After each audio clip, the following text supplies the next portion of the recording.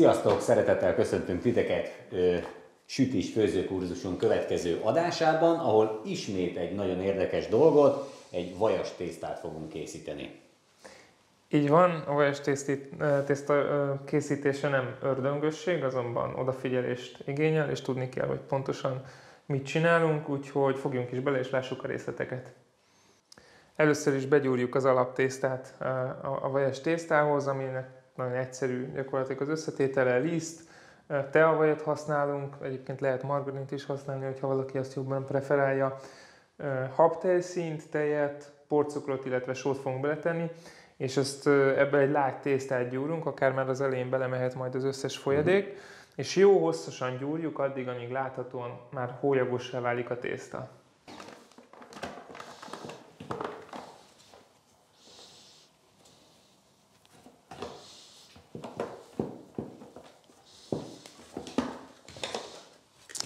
Mi. Körülbelül hát egy jó 20 perc Igen. gyúrás után, ugye ezt cukrász szaknyelven úgy mondjuk, hogy jól kidolgoztuk a tésztát, tehát lát, lehet látni, hogy gyönyörű szépen nyúlik, nagyon jól össze van dolgozva az egész. Most itt szépen csak ennyire kigömbölyítjük, hogy egy ilyen jó kis formája legyen a tésztának. Rátesszük egy vágódeszkára, és bevagdossuk a tetejét, majd pedig betesszük a hűtőbe pihenni, és ez idő alatt el tudjuk készíteni a vajas részt is, hiszen uh-huh. ugye ez a tészta, a vajas tészta, vajjal lesz rétegezve ugye a hajtogatás közben, ezért két része lesz a tésztának. Egyrészt van ez az alaptészta, és a közé rétegezett vaj pedig, amit liszttel mindjárt összegyúrunk, az is bekerül a hűtőbe, és mielőtt elkezdünk dolgozni velük, hagyjuk őket a hűtőben pihenni, hogy jó nyújthatóak legyenek. Uh-huh. A vaj elég szilárd legyen, a tészta pedig egy kicsit a sikér kidolgozza magát, és ne szakadjon majd, amikor hajtogatjuk a tésztát, hanem szépen nyújtani lehessen. Mielőtt... Folpak a tetejére, hogy... Így van, tudtad már. Mielőtt betesszük a hűtőbe, lefolpakozzuk a tésztát azért, hogy majd ne száradjon ki a hűtőben lévő száraz levegőtől.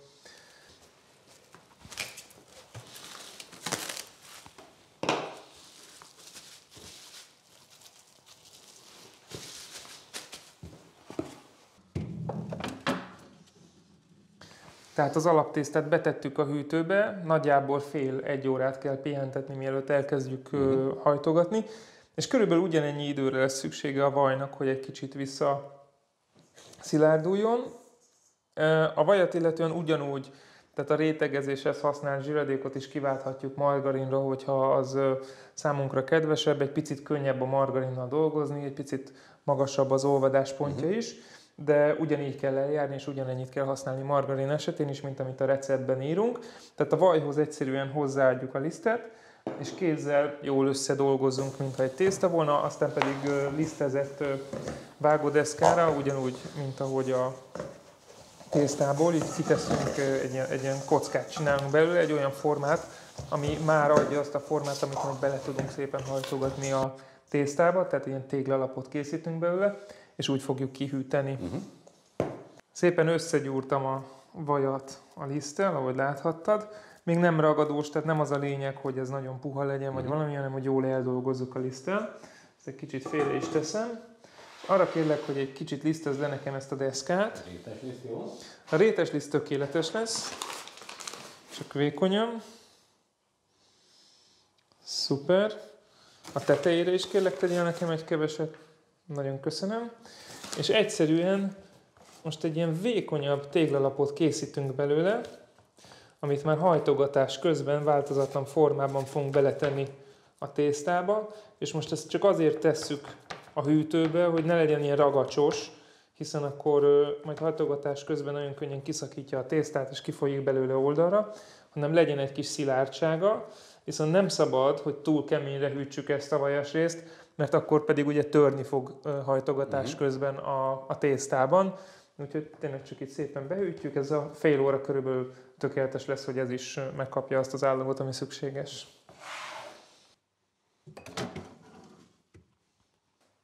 Na eltelt a majdnem egy óra, ugye annyit pihent a hűtőbe a, a tészta, illetve a, a vajas A vajas rész, ez a vajas rész, ez pedig a tészta. Köszönöm szépen. Most lisztezett asztalon, rétes lisztet használhatunk akár felesben is a sima liszttel, mert ez nem olyan ragacsos, sokkal jobb rajta nyú- nyújtani a tésztát egyébként. Szépen kitesszük az asztalra, leszórjuk a tetejét liszttel a tésztának. Ezt is odadom neked, Robert. Jó, köszönöm. Ö, nem emlékszem, hogy a vagdosásról volt erről szó, hogy annak mi volt a jelentősége. Ennek semmi különös, csak annyi, hogy jobban át tudjon hűlni a tészta, mert hogyha egy ilyen nagy buciba hagyjuk, akkor természetesen középen annyira nem tud áthűlni, így pedig jobban kapta a hűvöset. Csak ennyi a szerepe. És akkor most jön a formázás. Tehát a tésztának négy darab fület fogunk nyújtani, és középen hagyunk egy részt, ami elvileg négyszer olyan vastag lesz, mint a fülek. És mindjárt érthetővé is válik, hogy ennek mi lesz a szerepe. Így van négy fül, és középen ez a vastagabb rész. Tehát a vajas részt ide középre ráhelyezzük erre a vastag részre, és most válik érthetővé, hogy miért kellett ott vastagabbnak lennie, hiszen szépen minden oldalról becsomagoljuk a vajas részt, és így a vaj alatt és fölött is ugyanolyan vastag tészta lesz.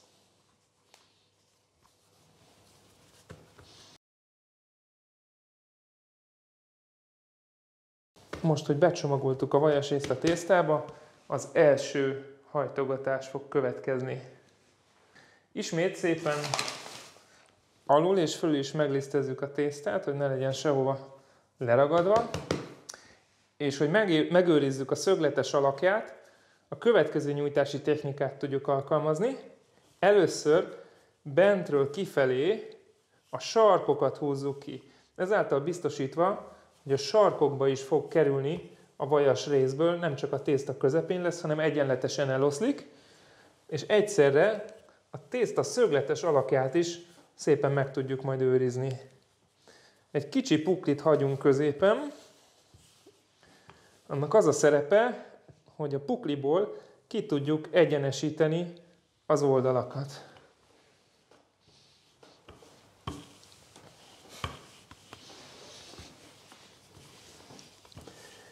És innen már folyamatosan forgatva a tésztát, kinyújtjuk. Forgatás előtt természetesen a felső oldalát lelisztezzük, majd pedig átfordítjuk, és innen folytatjuk a nyújtást.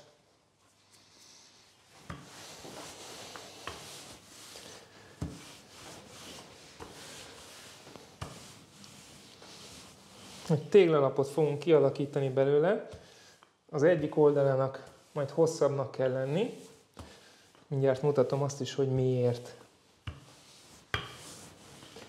Nagyon lényeges, különösen az elején, amikor még innen tovább fogjuk hajtogatni a tésztát, hogy elég nagyra nyújtsuk a tésztát, azonban figyeljünk arra, hogy sehol ne lyukadjon ki, és a széleibe is jusson a vajas részből. És akkor jön az első hajtás. Képzeletben három egyenlő részre osztjuk a tésztát.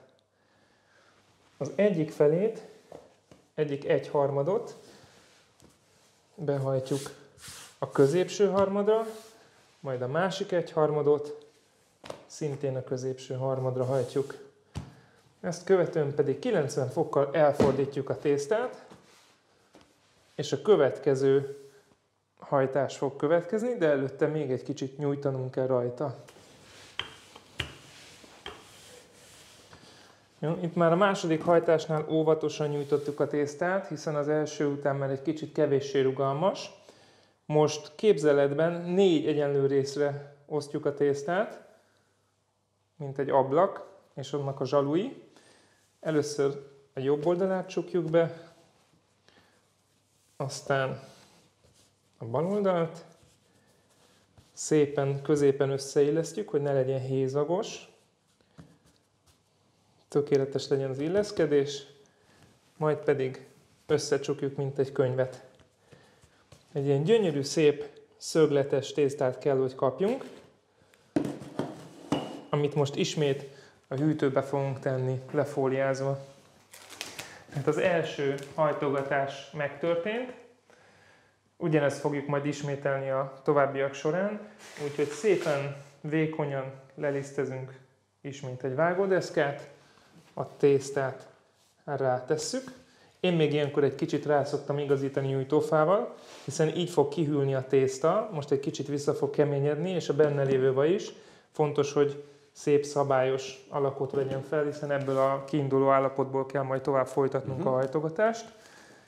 És ugyanúgy, ahogy az elején tettük a tésztával, most is azt javaslom, hogy fóliázzuk le, hogy sehol ne tudjon kiszáradni, illetve kérgesedni a tészta, mert akkor a következő hajtogatásnál szinte biztos, hogy kiszakad. És kijön a vajas rész. És kijön a vajas rész belőle, és akkor nem lesz szép a tésztánk.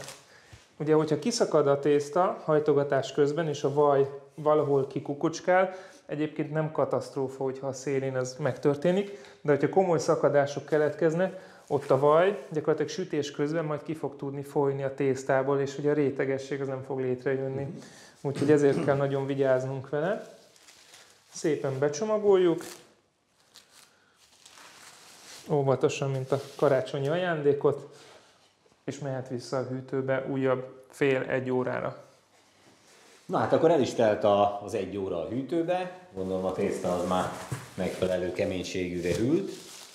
Ugye az csak egy dolog, hogy kihűlt a zsiradék, benne a vajréteg, tehát megint egy mhm. kicsit nyújtható, nem olyan lágy, és nem olyan könnyen szakítja ki a tésztát, de, de az is nagyon fontos, hogy pihent közben a tészta, tehát hogy újra egy kicsit nyújthatóvá mhm. vált, mert hogyha ugye túl sokat nyújtjuk a tésztát hirtelen, akkor akár szakadhat is, úgyhogy mind a két dolog megtörtént, ezt is odadom neked. És Szépen akkor köszönöm. kérlek. És ugyanazt a hajtást fogjuk megismételni, amit az előbb, azaz kinyújtjuk egy ilyen nagyobb darabra, egyik harmad, másik harmad, ezt hívják szimpla hajtásnak, azt követően megint kinyújtjuk, és behajtjuk a két oldalát, majd pedig összehajtjuk, ezt hívják dupla hajtásnak, tehát az előbb, amikor beletettük a zsiradékot, azt követően egy szimpla és egy dupla hajtás ö, mm. került rá, majd pihent, és most ismételten egy szimpla és egy dupla hajtást fogunk csinálni a tésztán.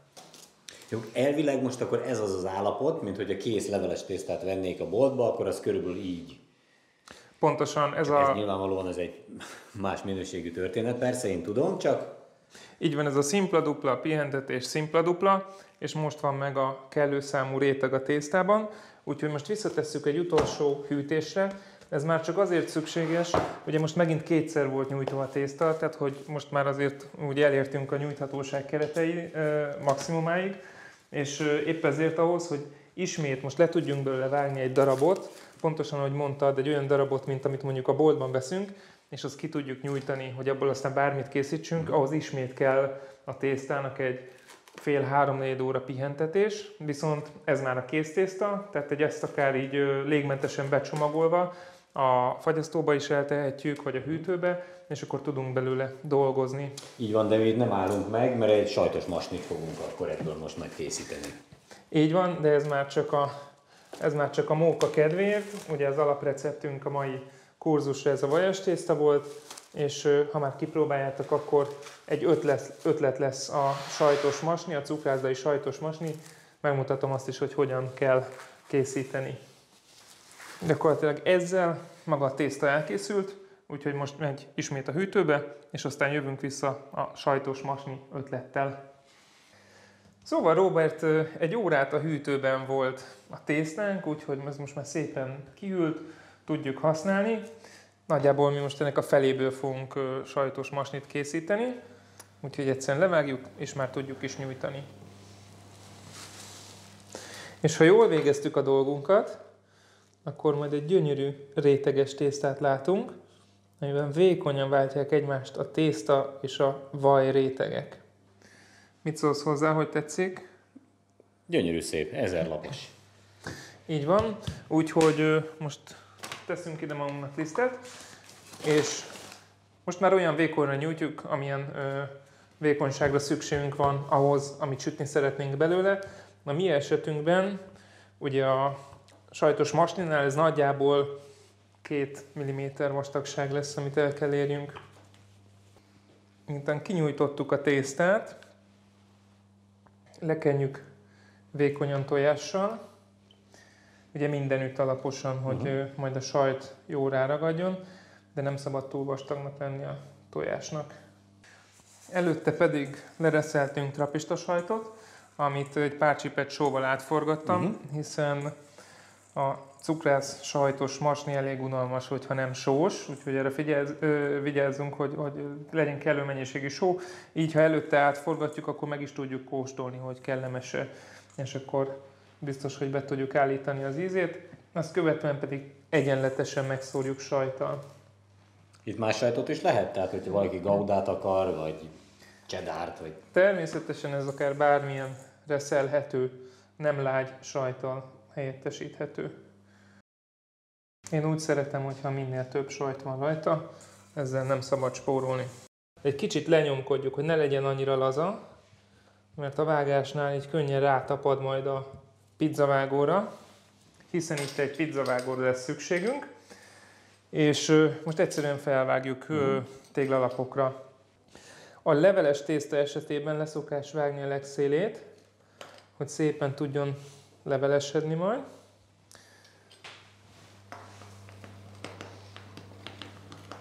Elég csak a szélső pár millimétert, minél kevesebbet vesztegessünk el a tésztából. És ezt követően nagyjából, hát ezt négybe fogjuk osztani.